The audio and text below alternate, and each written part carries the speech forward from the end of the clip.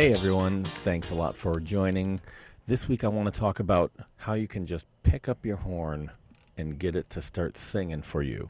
But before I do, please take a look in the links below where I got some interesting uh, information. If you're interested in, you know, learning how to play in the upper register a little more easily or with a better sound, and uh, if you're interested in what it's like sitting next to me in a Broadway musical.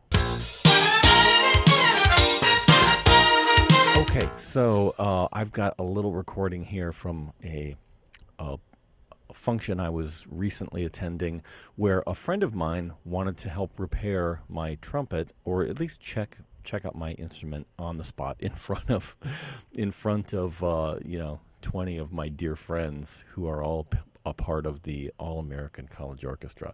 And so he was doing it and tinkering with it and then he said, "Okay, here you go. Of course, you got to play it. You got to play test it. So you don't whip the thing up, and there you go. And you know, it's like there there is a, a way to be able to just make that instrument sing right off the bat.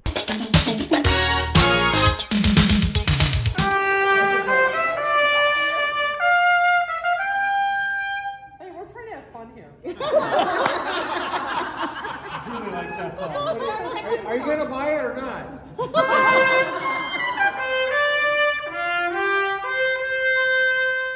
Okay, so there you go. So we're all having fun and everything, and you know, it was a it was a, a fun party to be a part of.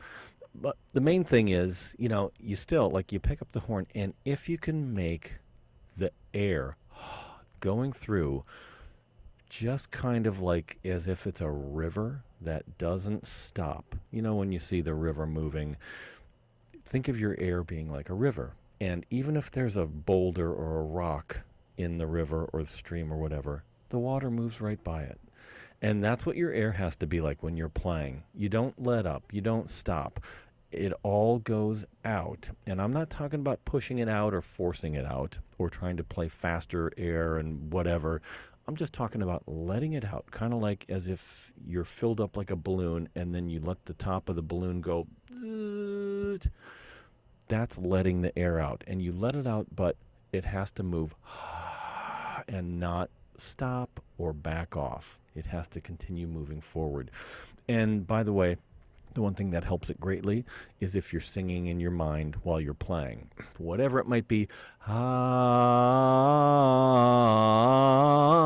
my teacher Bill Adam would have us do that singing a lot, and we were, were to not let up on the singing so as to keep a bit of a lean in in our singing, which will transfer into the instrument which will be desirable for you because you'll have far better endurance when the air is moving through the sound. So, in any case, I hope that will help you a little bit, and uh, please leave a comment down below if you have any questions. Thanks so much.